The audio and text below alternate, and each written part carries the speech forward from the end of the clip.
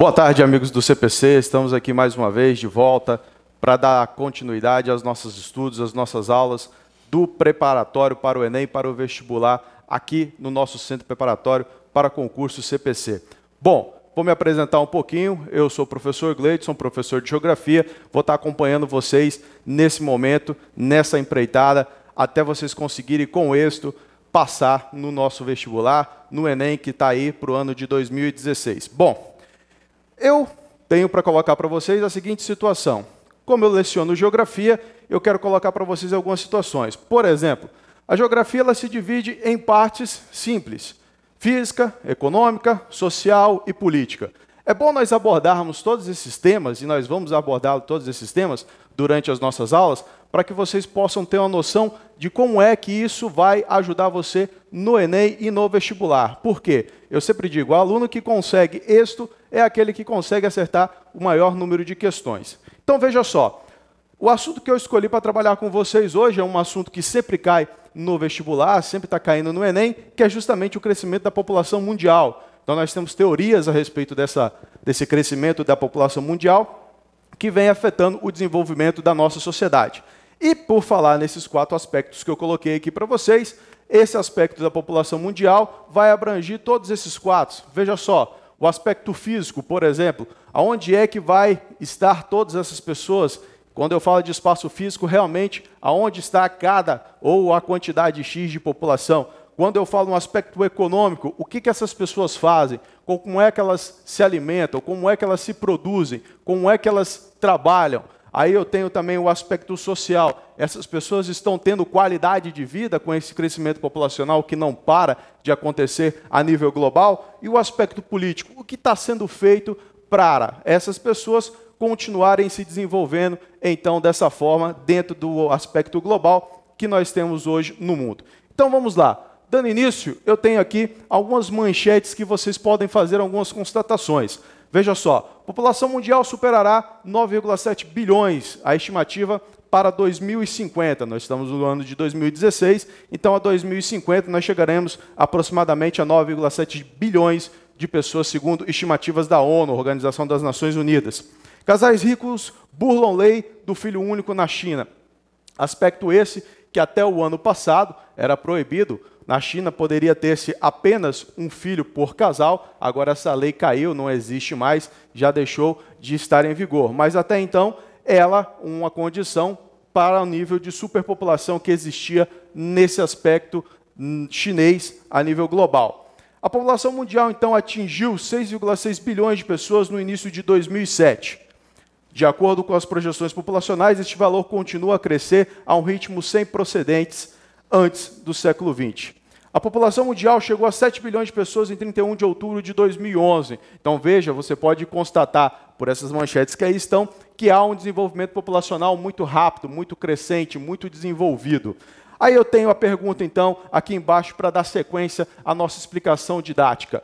Como está a situação da população mundial e que expectativa razoável podemos ter para o futuro? Então eu volto a lembrar para você, se você pega esses quatro aspectos aqui dentro da geografia e coloca nessa condição, como é que você responderia essa pergunta? Essa pergunta leva você a indagações que você com certeza encontrará de alguma forma no seu Enem, no seu vestibular, aonde quer que você for fazer, Brasil afora. Então vamos lá. Veja o gráfico, analise o gráfico comigo. Aumento da população mundial. Veja abaixo as datas em que o número de pessoas vivas no planeta alcançou marcas de 9 novos bilhões até chegar em 2011 a 7 bilhões, segundo a ONU. É válido salientar que todas as estimativas, todas as prerrogativas que nós temos, sempre temos que lembrar a fonte. Nesse caso, eu estou aqui usando fontes das Nações Unidas, que são fontes que eu posso confiar e trabalhar a partir desse aspecto, ok? Então vamos lá. Em 1804, eu tinha aproximadamente um bilhão de pessoas a níveis globais no planeta. Hoje, eu estou caminhando, a partir de 2011, para 7. Veja lá, 31 de 10 de 2011. Hoje, aproximadamente em 2016, esse aspecto, claro, mudou, continua crescendo. Nós estamos crescendo em ritmo acelerado. Então, se eu tinha, por exemplo, em 2011, 7 bilhões de pessoas, em 2016, professor, eu teria quantas aproximadamente? Então, nós estamos caminhando aí para 7,5 bilhões de pessoas, ou mais, a partir do momento que eu tenho que levar em consideração que a taxa de crescimento populacional ela não para, ela sempre está se desenvolvendo e sempre, sempre está se modificando. E aí eu tenho essa imagem para justamente justificar o que o gráfico traz como é, condição, condição, melhor dizendo, para o crescimento. A população mundial vai crescer 53% e chegar a 11,2 bilhões em 2100, segundo estimativas também da ONU. E aí eu faço a seguinte pergunta para você, meu querido, você, minha querida, que está acompanhando a nossa aula aqui online, aonde é que todas essas pessoas vão ficar localizadas? Aonde todas as pessoas estarão localizadas? Eis o X da questão. Veja, eu tenho essa foto para exemplificar mais ou menos o que eu estou querendo dizer. Aí eu tenho para colocar para você justamente uma condição de questionamento. Veja, por o Globo, 29 de 7 de 2015, às 13h30. Atualizado, então, já dia 30 de 7 de 2015, às 12h25. Eu tenho aqui uma foto que vai ilustrar justamente o relatório ou a expectativa de crescimento populacional que a ONU está colocando. Aí eu vou dando sequência. A população atual mundial de 7,3 bilhões de pessoas vai alcançar a marca de 8,5 bilhões de pessoas até 2030. Então, se você fizer uma prerrogativa, se você fizer uma expectativa, você percebe que você não está muito longe disso. Você está em 2016 até 2030. Eu tenho um tempo considerável, mas também não tenho um tempo tão longe assim. Com esse ritmo, o planeta deverá chegar em 2100 com 11,2 bilhões de seres humanos, um crescimento de 53% em relação ao presente. Ou seja, esse meu crescimento, ele sempre tem um ritmo acelerado, ele não para, ele é contínuo. Essas previsões estão no relatório da Perspectivas da População Mundial, a revisão de 2015 publicada nessa Organização das Nações Unidas. Então veja, todo ano a ONU faz uma prerrogativa, faz uma estimativa de crescimento populacional. Então se estima que hoje nós estamos crescendo cerca de 53% ao longo do ano, conforme vai se passando cada ano, de 2015 até 2016. Bom, vocês perceberam que aqui nós temos muitos gráficos, e esses gráficos ajudam a nós a interpretarmos muito bem essa situação do crescimento populacional. Previsões de crescimento populacional em bilhões de pessoas. É válido salientar que ainda nós estamos no aspecto global, a gente não passou ainda para o aspecto regional, a gente ainda não falou de Brasil, mas nós vamos chegar lá. Veja só, 50% de crescimento populacional do planeta até 2050 vai se concentrar em nove países. Quais são esses nove países, então, professor? Eu tenho ali Índia, Nigéria, República Democrática do Congo, Etiópia, Tanzânia, Estados Unidos, Indonésia e Uganda. Você reparou nesses, nesses países que eu acabei de citar aqui para você? A maior parte deles, você pode observar, encontra-se no continente africano. Então, ou seja, a partir disso eu já tenho uma perspectiva que a maior parte da população mundial vai se concentrar justamente no continente africano. 34% da população da Europa vai ter 60 anos ou mais até 2050.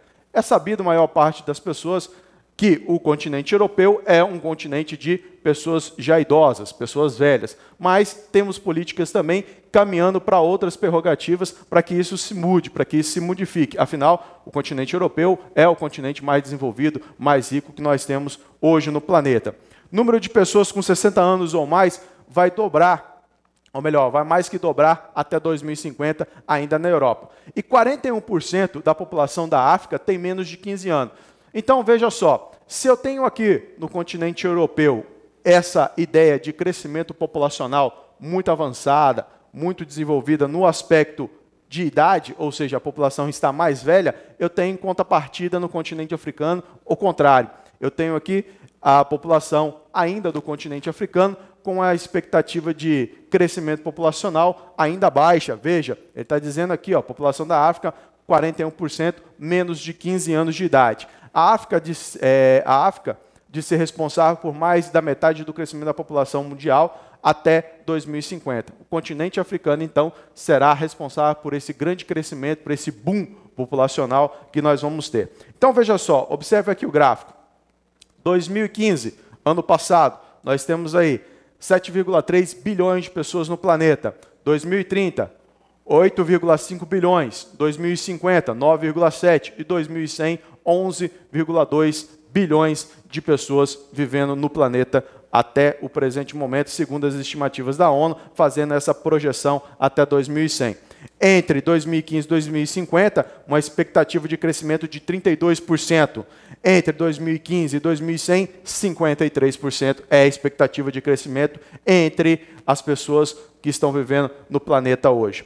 A Índia vai se tornar o país mais populoso do mundo até 2022, deixando para trás hoje o país mais populoso do mundo, a China. Então, ou seja, até 2022 nós temos esse crescimento da Índia como é, potência mundial em termos populacionais.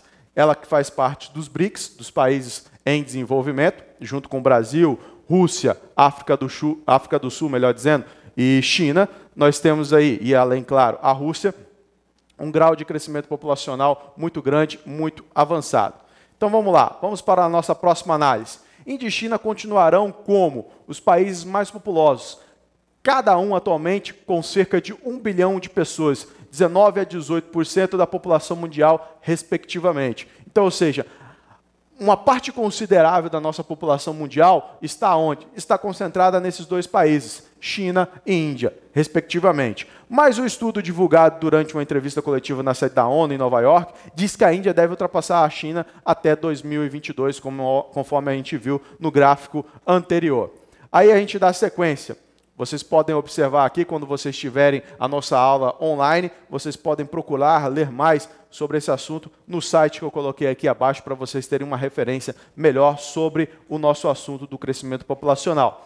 E veja, com a maior taxa de crescimento populacional, a África deve responder por mais da metade do avanço demográfico entre 2015 e 2050. Isso é de suma importância, porque veja só, se cai uma questão no seu Enem, no seu vestibular, seja onde você estiver, seja onde você estiver fazendo, você tem que entender que a África é um, um continente em crescimento expansivo. A partir disso, ela está sempre em desenvolvimento, sempre em constante desenvolvimento. Também, de acordo com o relatório, metade do crescimento populacional do planeta nos próximos 35 anos vai se concentrar em nove países. Veja só, novamente, nós temos países africanos aqui se destacando. Veja só, eu tenho a Índia, claro, como a maior perspectiva de crescimento populacional, mas eu tenho a Nigéria, o Paquistão, República Democrática do Congo, Etiópia, Tanzânia, os Estados Unidos, Indonésia e Uganda, como nós já falamos anteriormente. Recapitulando então, boa parte desses países concentrada no continente africano. Ou seja, países com alta taxa de fertilidade, o que já tem grandes populações. Uma coisa ou outra, ele já tem grande quantidade populacional ou está em processo de fertilidade muito avançado, crescimento. E olha esse outro dado aqui. Ó. Hoje, 41% das pessoas no continente têm até 15 anos e 19% tem de 15 a 24 anos. Isso no continente africano, concentrado em países como eu acabei de colocar para vocês, como Nigéria, República Democrática do Congo, Etiópia e assim sucessivamente, ou até mesmo em Uganda. Ou seja, nós temos aqui uma perspectiva de crescimento global muito avançada dentro do continente africano. Atualmente, dos 10 países mais populosos do mundo, um está na África, ou seja, então olha o que ele está dizendo aqui para você lembrar bem, você que está aí assistindo a nossa aula online aqui no CPC. Veja só, atualmente, dos 10 países mais populosos do mundo, um está no continente africano. Por exemplo, a Nigéria, cinco em Bangladesh, cinco, melhor dizendo, na Ásia, Bangladesh, China, Índia, Indonésia e Paquistão. Eu tenho dois na América do Sul, o nosso Brasil e o México, um na América do Norte, os Estados Unidos, e um na Europa, que é a Rússia como eu disse anteriormente, fazendo parte dos BRICS e aí se desenvolvendo também no aspecto populacional.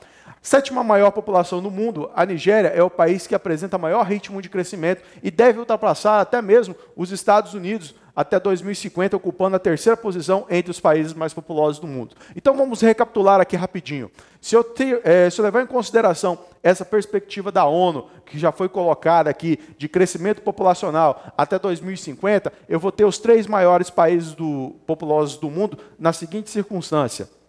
Eu teria então Índia, ultrapassando a China, a China caindo para segundo lugar, e a partir disso eu tenho a Nigéria ultrapassando os Estados Unidos, ficando em terceira posição. Então veja só, eu teria então a Índia, eu teria então a China e teria então a Nigéria ultrapassando os Estados Unidos nessa perspectiva da Organização das Nações Unidas, certo? Sempre colocando em destaque esse crescimento populacional que é interessante de nós analisarmos. Aí nós vamos lá.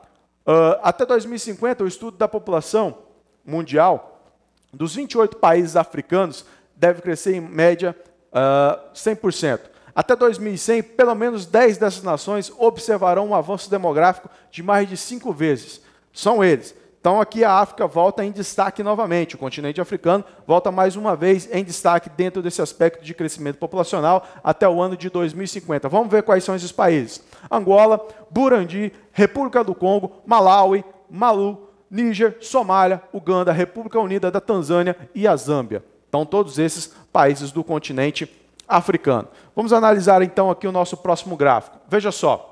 O que fazem esses 7 bilhões de pessoas? Se você está prestando atenção, e eu tenho certeza que você está prestando atenção na nossa aula aqui, você recapitula que eu disse que dentro da geografia nós temos aspectos interessantes a analisar dentro do aspecto do crescimento populacional. Então, o que fazem essas 7 bilhões de pessoas hoje no planeta? Em que, que elas estão trabalhando? Como é que elas estão se desenvolvendo? Vejam, mais de 400 milhões são empreendedoras.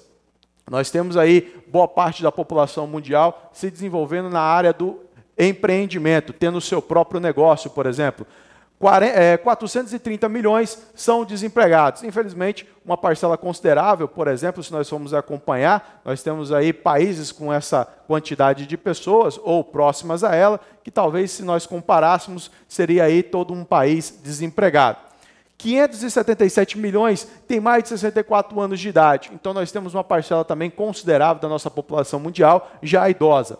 800 milhões trabalham em indústrias, seja ela quais forem os segmentos, aqui a gente não está definindo nenhum ponto nem outro, a gente está fazendo um aspecto global. Aí eu tenho 1,4 bilhões trabalhando na agricultura. Então eu vejo que ainda tem uma parcela considerável da nossa população mundial trabalhando com a agricultura. Eu tenho também uma parcela muito considerável, veja só, 1,9 bilhões aqui no cantinho, que você pode observar aí, são muito jovens, ou seja, de idade entre 0 até 15 anos. E aqui para finalizar essa condição do que, que fazem, aonde estão essas pessoas a níveis globais, eu tenho 1,7 bilhões trabalhando em serviços, seja eles quais forem. Por exemplo, esse professor que vos fala, ou o garçom que te atende numa lanchonete, ou qualquer outra pessoa que trabalhe com algum tipo de prestação de serviço. Eu tenho sempre essa condição a ser analisada.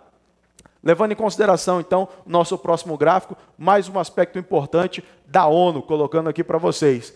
Segundo a ONU, em 2030, a população mundial necessitará. Então veja só, se nós colocamos no slide anterior, se nós colocamos no gráfico anterior, que nós temos uma condição, qual é ela? Condição da onde estão essas pessoas, aonde elas estão posicionadas, o que elas fazem, nós temos aqui colocando também a necessidade dessa parcela populacional. Mais de 50% necessitará de energia, energia elétrica para se locomover, para se produzir, para se alimentar, para estar dentro de um bem-estar social e político. Veja só, 40% de água. A água é um recurso muito raro e digo para você de antemão, próximas aulas possivelmente nós estaremos falando também do, da água, do uso da água, do recurso hídrico, que nesse ano passado o Brasil teve uma grande escassez, vamos colocar assim de alguma forma, com relação à água. E mais 35% de alimento. Então veja, com o nosso crescimento populacional, é evidente que também essa pessoa que está ali se desenvolvendo, que está ali crescendo, que está ali nascendo, vai necessitar em algum momento se alimentar de alguma forma. Então vamos lá. Esse 50% aqui da energia, 768 milhões de pessoas ainda não têm acesso à água tratada, ou seja, dados de 2014. Então, até dois anos atrás, no começo de 2014, 768 milhões de pessoas não tinham acesso à água tratada. Tem aspectos relevantes também a ser colocados nesse sentido. Veja, 2,5 bilhões de pessoas têm condições sanitárias ruins ou péssimas. Isso é um agravante, porque isso implica no aspecto sanitário que aspecta também na condição de saúde. O Brasil, infelizmente, é um desses países que tem essa condição eu tenho ali 1,3 bilhões de pessoas que não têm acesso também à eletricidade. Então, eu inverto essas situações e analiso que Conforme cada país, conforme o seu desenvolvimento, eu tenho situações ímpares a serem analisadas dentro do aspecto do crescimento populacional. Aí eu vou dar sequência. Número de pessoas subnutridas por região entre 1990 e 92 a 2030, fazendo já uma projeção. Eu tenho sul da Ásia, leste da Ásia, sul da África, Oriente Médio e norte da África, América Latina e Caribe. Então você observa no gráfico o que? Justamente isso que ele coloca em cima. O número de pessoas com fome em países em desenvolvimento deve cair de 777 milhões hoje para 440 milhões até 2030. Significa o quê? Que nós produziremos um pouco mais de alimentos para sustentabilidade dessas pessoas que estão nascendo e que estão se desenvolvendo dentro da, do crescimento populacional hoje. Então nós temos esse gráfico fazendo já uma projeção de 92, se nós formos analisar a projeção que já existia, até 2030, ano que nós vamos alcançar rapidamente. Então eu tenho número de pessoas aqui com fome caindo consideravelmente, de 777 milhões de pessoas hoje para 440 milhões até 2030. Todos esses detalhes você vai estar aí acompanhando também no nosso site do CPC online. É importante você estar ligadinho sempre aí, fazendo a sua visita, contextualizando a sua aula para que você possa contextualizar e observar ainda mais tudo aquilo que nós estamos explicando para vocês aqui. Então veja, aqui eu já tenho uma outra fonte que é interessante também nós analisarmos. Eu tenho aqui o Conselho Nacional de Justiça, isso já fazendo uma análise a nível um pouco mais regional, mas levando em consideração também o aspecto global. O ranking dos 10 países com maior população prisional Professor, mas veja só, nós estamos aqui falando justamente não é do crescimento populacional? Sim, mas esse crescimento populacional não se dá somente de pessoas no sentido de nascimento, vai se dar também no sentido de carceragem. O crescimento populacional ele vai ter vários aspectos e esses aspectos têm que ser colocados aqui para você que está assistindo a aula tenha consciência deles e a partir disso passe a entendê-los melhor. Veja só, computadas as pessoas que estão em prisão domiciliar no Brasil, no aspecto regional, temos o seguinte ranking. Estados Unidos, nós temos mais de 2 bilhões de pessoas. China, Brasil, 715 milhões de pessoas. Então veja, nesse ranking aqui que vai de 1 a 10, tendo os Estados Unidos como primeiro e a Indonésia como segundo, o Brasil está em terceiro lugar. Tá? Isso é um aspecto populacional grave dentro do crescimento populacional em termos de prisão, em termos daquelas pessoas que estão cerceadas do seu direito de liberdade, que estão presas em alguma prisão aqui no Brasil por um crime ou por algum delito que tenham cometido. Então vamos lá, o crescimento populacional. Eu vou levar em consideração o quê? Aspectos importantes a serem relatados. Professor, o senhor deu detalhes, o senhor falou, o senhor mostrou gráficos agora para nós, mas veja só, o que é de fato e de verdade, então, esse crescimento populacional que vai levar a conceitos importantes para que você faça a sua análise. O crescimento natural é igual à taxa de natalidade menos a taxa de mortalidade. Isso você vai ver em algumas teorias que nós vamos analisar agora na sequência. Então, como é que eu vejo a minha taxa de natalidade, ou seja, a minha taxa de nascimento? É igual ao número de nascimentos multiplicado por mil dividido pelo número de habitantes. Aí eu vou ter a proporção da minha taxa de natalidade. E se você pode fazer esse cálculo a níveis regionais, por exemplo, da sua cidade, você pode fazer a níveis é, de país, como no caso do Brasil, e a níveis globais também, ou até mesmo a nível de continente. Você pode pegar o continente americano ou dividi-lo, o continente sul-americano, o continente norte-americano ou América Central e fazer a sua análise também. Aí eu tenho movimento migratório, contribuindo também para essa taxa de natalidade, que vai ser um dos temas, um dos aspectos que nós vamos analisar também das nossas próximas aulas. E eu tenho aqui uma outra forma de calcular essa, esse meu crescimento natural. Eu tenho a taxa de mortalidade como é que eu vejo, como é que eu calculo ela, então, professor? É o número de óbitos vezes mil dividido pelo número de habitantes. Também é um cálculo muito simples, muito fácil para você desenvolver, para você fazer aí e chegar a um denominador comum quando você quiser uma precisão em cima de números de crescimentos populacionais. E a população mundial tem um aspecto interessante no aspecto de explosão demográfica.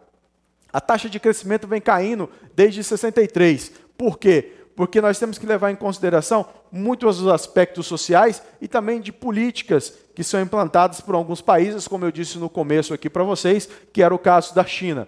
A taxa de crescimento vem caindo então desde 63, quando os índices de crescimento atingiram seu auge. Chegamos ao ápice do crescimento populacional.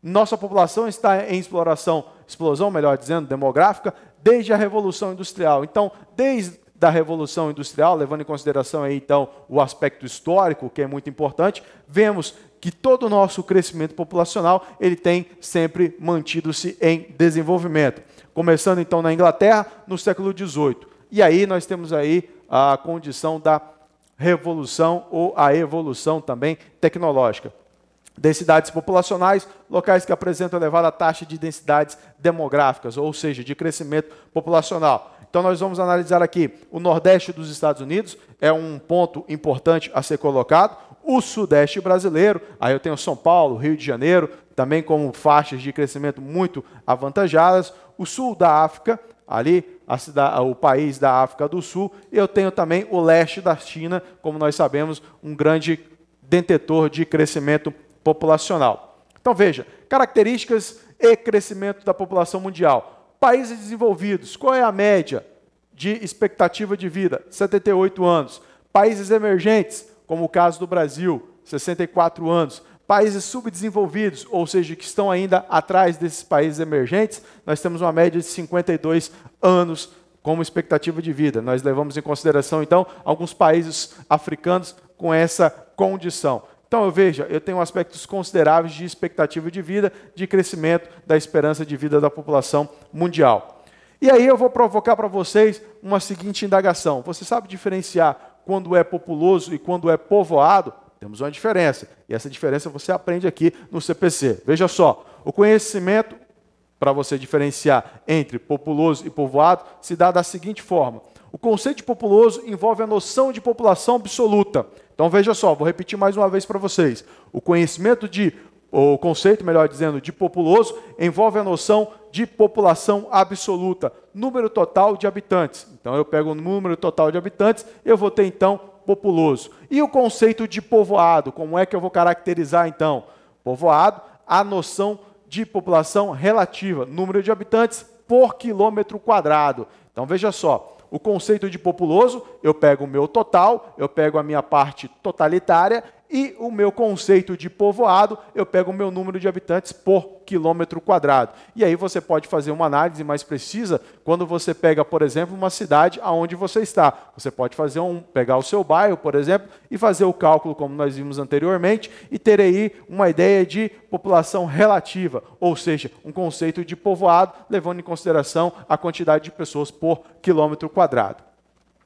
Consequências do crescimento populacional, pessoal. Bom, como nós sabemos, dentro da geografia, tudo tem uma relatividade e tudo tem também uma demanda e, automaticamente, uma consequência. Veja só, quais são os crescimentos, então, é, as consequências do crescimento populacional? Eu tenho, entre eles, o desemprego e tenho, entre eles, também os meios de habitação. Como eu disse anteriormente no começo da aula para vocês, Onde é que nós vamos colocar todas essas pessoas? Onde todas as pessoas estão vivendo? E como é que elas estão vivendo? Isso é um aspecto interessante e importante que você tem que lembrar para o seu vestibular e para o seu Enem. E veja, no gráfico que eu mostrei para vocês, nós temos aí uma quantidade relativa de pessoas desempregadas. Então, o crescimento populacional é interessante, mas ele também traz problemas a serem solucionados e serem diagnosticados dentro desse aspecto. Fase de transição demográfica a partir disso, primeiro estágio, elevadas taxas de natalidade e de mortalidade. Segundo estágio, redução da natalidade e manutenção da elevada taxa de natalidade. População, então, mais urbana, fazendo aquela transição do êxodo rural, saindo do campo para a cidade. O terceiro estágio, queda na taxa de natalidade. O crescimento demográfico se mantém positivo, ali, tranquilo, parado, sossegado.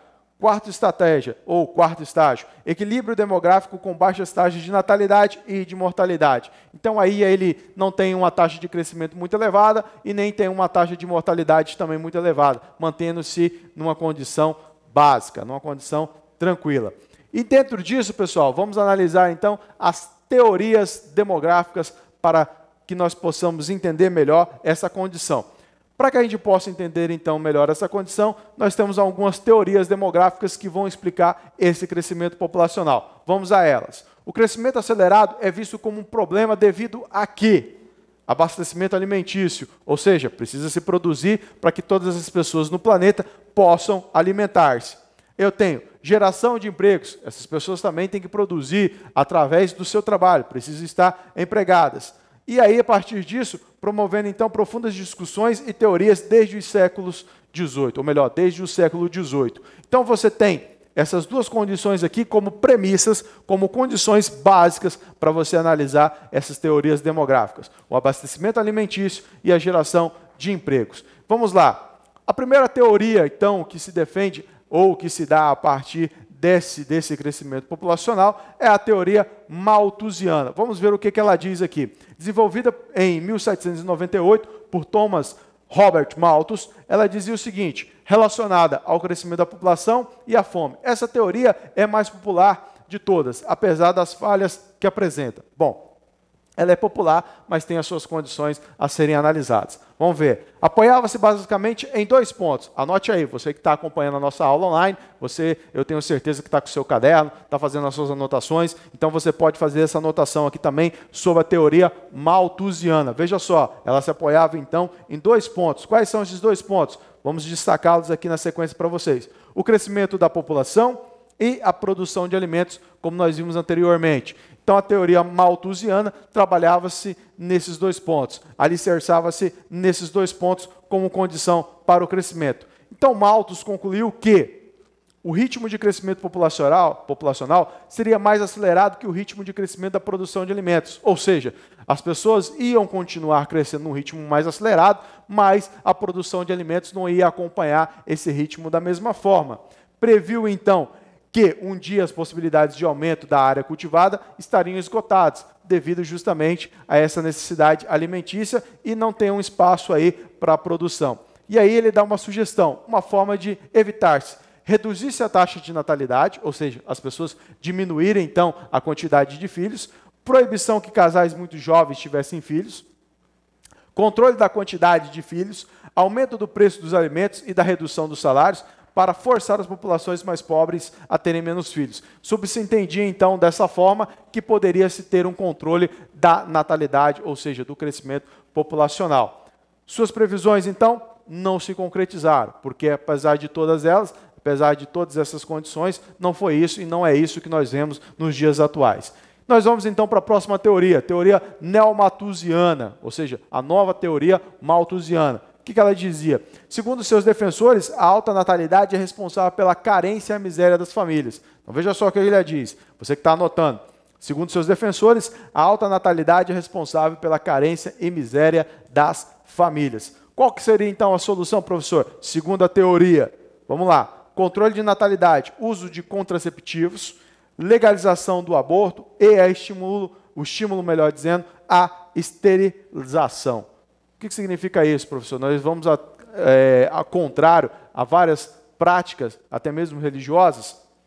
Aí é um aspecto que a geografia ainda não se discute dentro do aspecto social, mas é uma teoria também que vale se ressaltar para você, que vai fazer o seu vestibular e o seu Enem, que pode estar lá constando e você precisa estar ligado aqui no CPC para saber tudo isso. Vamos lá. A teoria reformista, terceira teoria então, nós temos Segundo eles, a miséria é causada pela má distribuição de renda e dos recursos.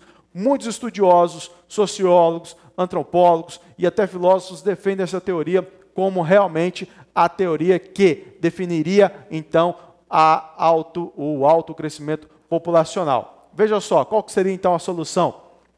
Um equilíbrio socioeconômico mundial, pondo fim à miséria existente, evitando a sua expansão. A partir do momento que então que você distribui a renda de forma mais igualitária, você acabaria com esse problema e daria mais soluções para o crescimento populacional, evitando que ele continuasse em demasiada sem controle. O Estado deve ser o gerenciador das medidas de distribuição de renda, ou seja, o governo de cada local vai então interferir como essa renda vai ser medida, é, dividida e até mesmo gerenciada para que chegasse à população e de verdade. Então veja, eu tenho aqui o IDH, o Índice de Desenvolvimento Humano. Índice de Desenvolvimento Humano, esse que o IDH referente-se ao avaliar o desenvolvimento humano a longo prazo. Então veja só, os países aqui que eu tenho em mais escuro, conforme você pode observar, eu tenho Estados Unidos, Canadá, eu tenho a Europa, tem um índice populacional e um índice de desenvolvimento humano muito elevado. Já países como a África e alguns países aqui do Sudeste Asiático têm esse índice muito baixo. Significa o quê? Que o crescimento populacional nesses lugares tende a crescer muito mais, aceleradamente. Indicadores de qualidade de vida. Veja só, então eu tenho, quanto mais próximo a um, melhor a qualidade de vida. Eu tenho aqui a Noruega quanto país, então, com melhor distribuição desenvolvimento humano. Significa que as pessoas têm um grau de desenvolvimento muito grande, aliado, então, ao crescimento populacional. E aí nós temos o Brasil também em destaque, crescendo desde 1980 até o ano de 2001, para vocês terem uma noção, para vocês terem uma ideia, de 569 a 718. Então, ou seja, nós estamos caminhando e nos desenvolvendo com o passar do tempo. Aí eu tenho mais um dado para apresentar para vocês. Aqui também, grupo de desenvolvimento, o Brasil e o índice de desenvolvimento humano em outros países. Muito alto, ou seja, aqueles países que têm um desenvolvimento humano muito elevado. Noruega, Estados Unidos e até mesmo a Argentina, devido às suas proporções de distribuição populacional. Aí eu teria o Brasil nessa posição em 84 lugar dentro do ranking, idealizado então pela ONU, sempre lembrando a nossa fonte de referência, ok? Aí nós temos os próximos gráficos a serem analisados, jovens e risco, suicídio é a maior causa de morte entre mulheres de 15 e 29 anos. Do mesmo jeito que nós temos uma taxa de crescimento elevado para a população mundial, nós temos também algumas taxas a serem analisadas. O índice de suicídio também é muito comum para dar foco a esse crescimento, ou não, no caso aqui da mortalidade entre as mulheres. No mundo, o suicídio é o segundo maior, a segunda maior causa de morte entre pessoas de 10 a 24 anos. A, a primeira, então, acidentes de trânsito. E no Brasil, veja só o que ele diz aqui: pessoas de 15 a 29 anos, o suicídio é a terceira causa de morte atrás de acidentes e homicídios.